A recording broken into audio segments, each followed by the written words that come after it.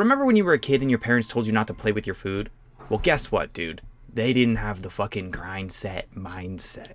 They just weren't entrepreneurial enough. They had no idea that you were onto something big. They didn't know the context of where the fucking world was headed. Especially in the first world, they didn't understand that we would have so much food and so much fucking free time and such an incessant need for attention that ultimately the food industry would be equally about how strange of an experience it could be, how strange it's prepared, and how overly and unnecessarily cheesy it can be.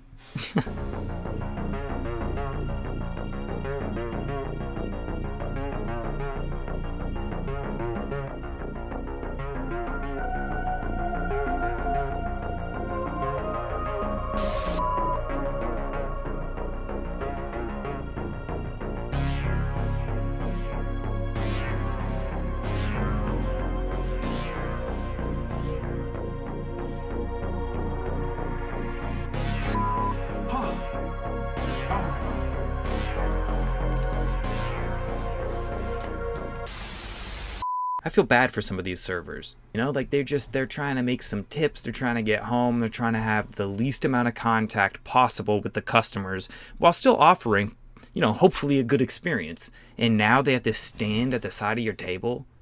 They to learn how to fucking juggle and use a, a goddamn flamethrower.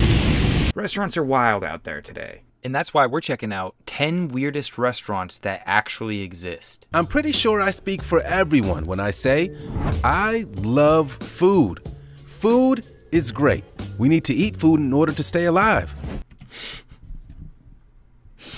All right, when you're just trying to meet the word count on an essay in high school, food is good and I like food.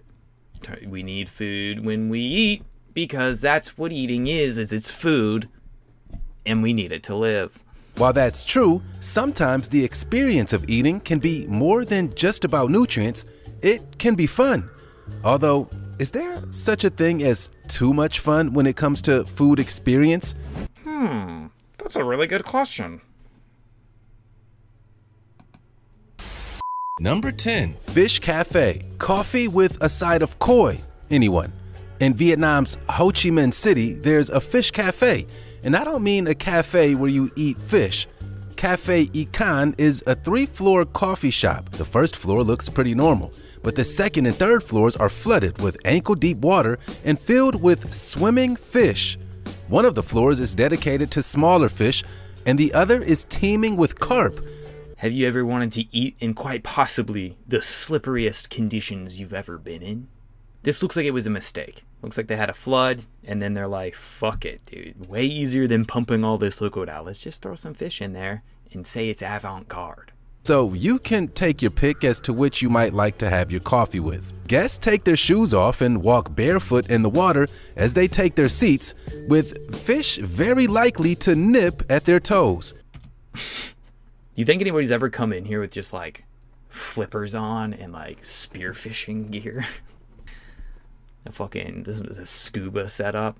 I'm just curious if you walked in in a wetsuit, do they immediately turn you around based on presumed shenanigans? Like if I show up with floaties on each of my arms, right? In swim trunks, are they giving me a seat? These are the questions.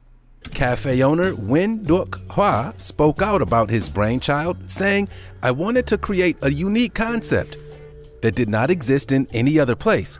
I Maybe it's a unique concept for a reason. Sometimes when you stumble on an idea and you're like, "Wow, how has this never been done?" is because it's a bad it's a bad idea. So, number 9. Modern toilet. What No, no, no, no, no, no, no. You go to hell.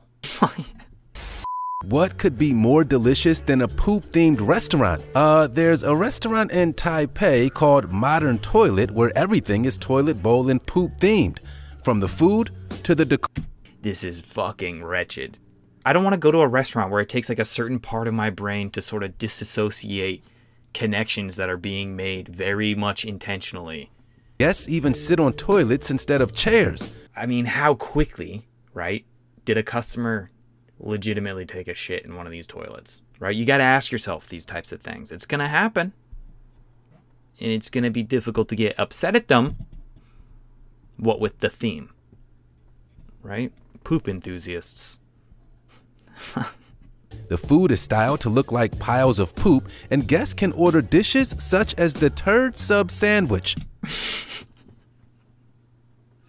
On a scale of 1 to 10, 1 being bad, 10 being great, uh, how good of an idea is this for a first date? Imagine you're on your first date and you're like, ah, this is so wacky that we're here. And you look up and your date is clearly straining and buckling down. You know, like you're laughing, and then you look up and you just see your date like,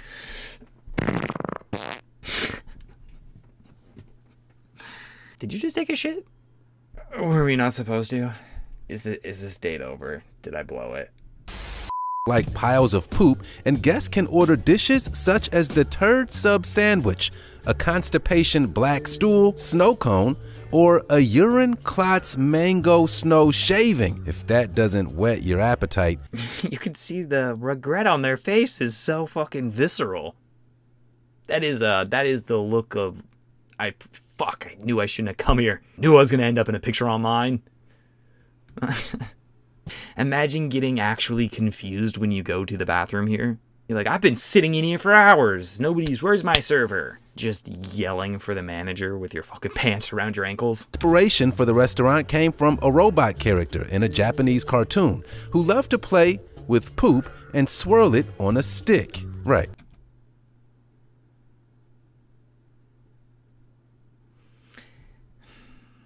Is this uh, like a direct translation type thing? Is this like a lost in translation issue? Or is there just a robot that plays with poop on a stick?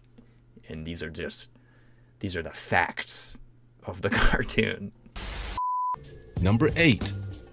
Vampire Cafe. Nestled in That's not a vampire, though. That's the Joker. so. A totally unassuming looking building in Tokyo, Japan, there's a vampire themed restaurant. Signs greet customers, welcoming them to their death, and once they step inside, they're fully immersed into a horror dining experience. The restaurant has gone hard with the theme. Sort of. Dude, there was a. Okay, the first thing you showed us was not a vampire, was the Joker. Okay. Now you're showing us a ghost and you're showing us pumpkins, Halloween themes. You're showing us skeletons. I haven't seen a fucking vampire yet. So for that to be the theme a little bit crazy that I haven't seen one yet. Muffins, candles, plenty of red velvet, and the odd smear of fake blood. Or at least I hope it's fake. Oh. Ah. Number 7. In London, England, there's a bar styled like a Blitz air raid shelter and abandoned underground train station. To visit Cahoots is to step back into the 1940s, a time where rations were low but spirits were high. Why? Who wants to relive this particular section of human history? Remember when there was a real threat of Nazism taking over the entire fucking earth? Let's drink to that. Throwback Thursday. pantry style and feature old English classics like meat pies, fruitcake, sausage rolls, and finger sandwiches. Cahoots actually sound just some of the worst food you've ever had, all in one place. Cool. Number 6. Jailhouse.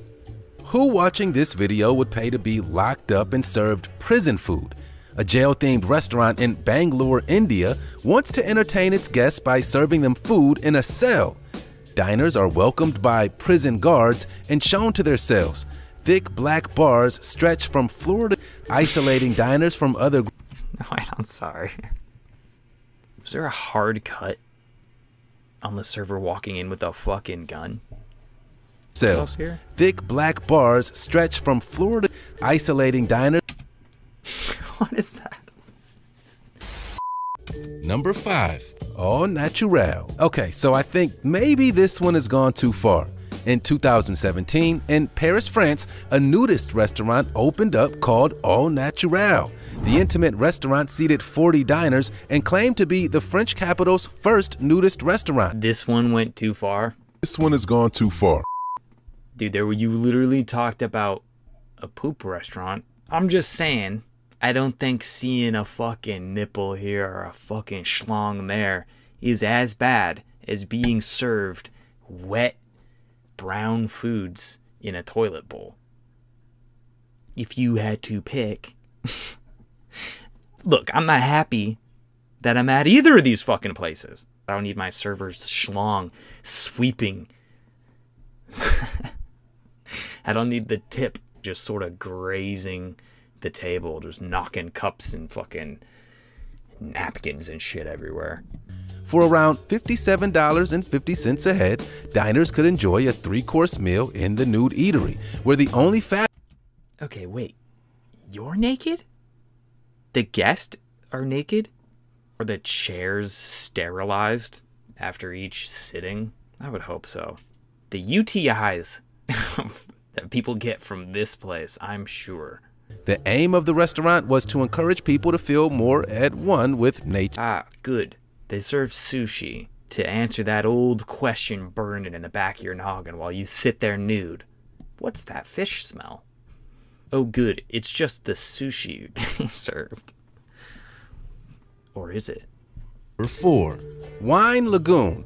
A middle aged white woman's absolute dream. Okay, so not so much a restaurant than a spa, but still an Epicurean experience that would delight any gourmand. The Yunessun Spa Resort in Japan invites customers to bathe in a giant pool filled with red wine poured from a 12 foot bottle. Don't tell me people are actually fucking drinking the wine in the pool. I do not need to be sipping on wine that possibly made its way through all your cracks and crevices. Bathing in wine is excellent for stimulating skin cells. just it's just it's so unnecessary, right? To bathe in wine, isn't it? It isn't advised that bathers drink the wine in the pool because, well, warm wine with notes of stewed, sweaty human probably isn't great. It isn't advised. That doesn't mean you can't do it. People haven't done it, and that you'll get kicked out if you do. Trust me, people are drinking it. But revelers can drink a glass of fresh wine as they enjoy the pool.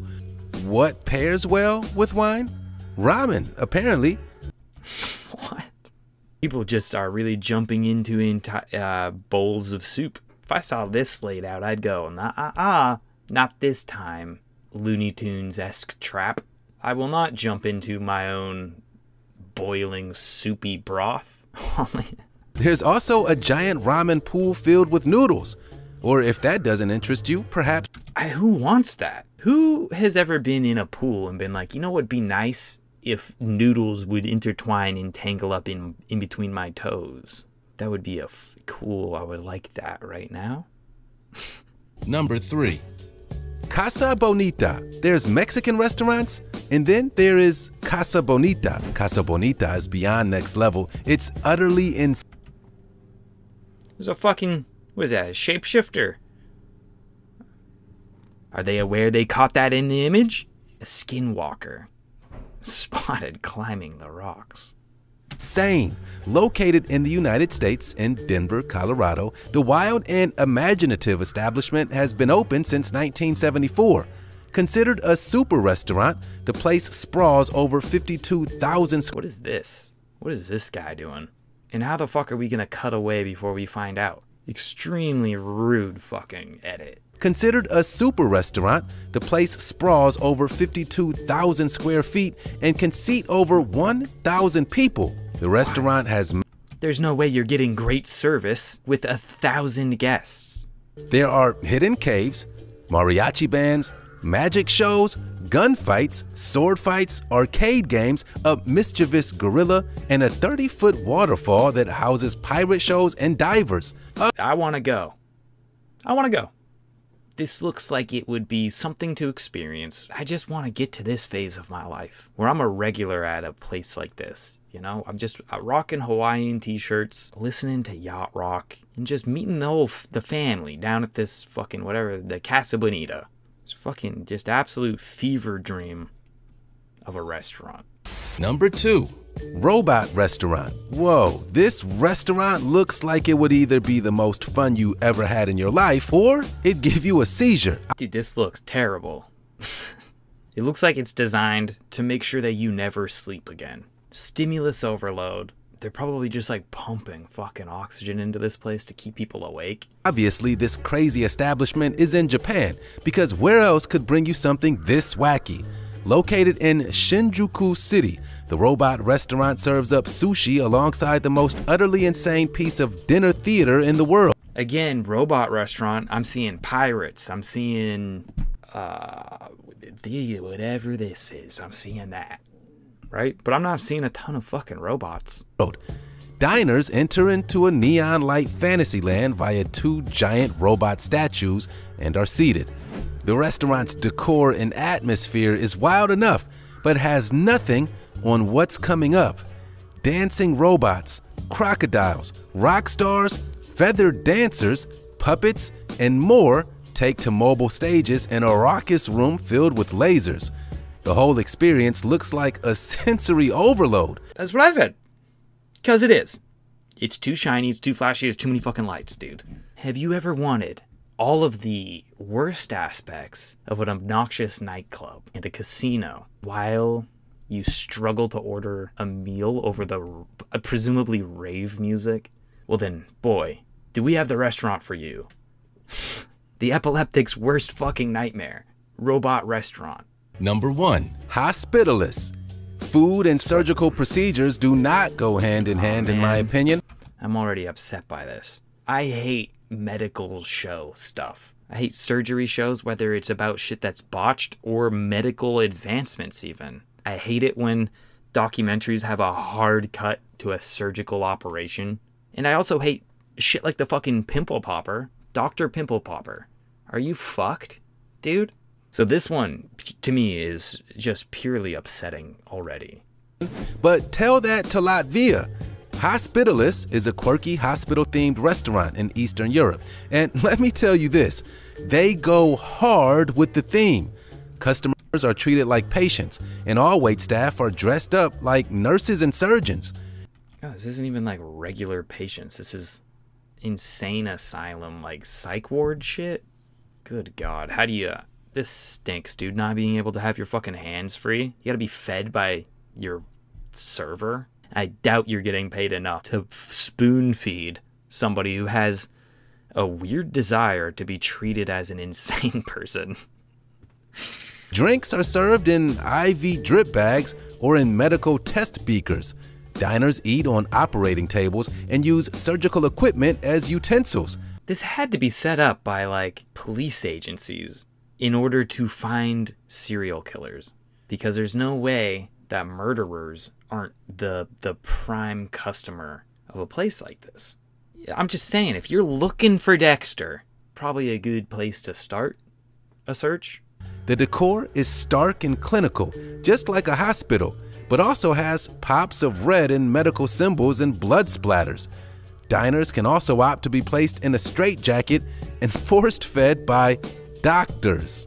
Well, there you go, dude. If you're ever in a situation where somebody tells you to stop playing with your food, you can legitimately look at them angrily, shovel your own feces into your mouth, and through the shit on your breath, you can look at them and you can say, You have no idea what I will become. And then you can go on to open up the most foul restaurant in the world. That's beautiful, dude. Follow your follow your dreams. Let me know what you guys thought in the comments down below. While you're down there leaving a comment, go ahead and hit like, hit subscribe, ring the notification bell to be notified next time I upload. And until next time and until next video, peace.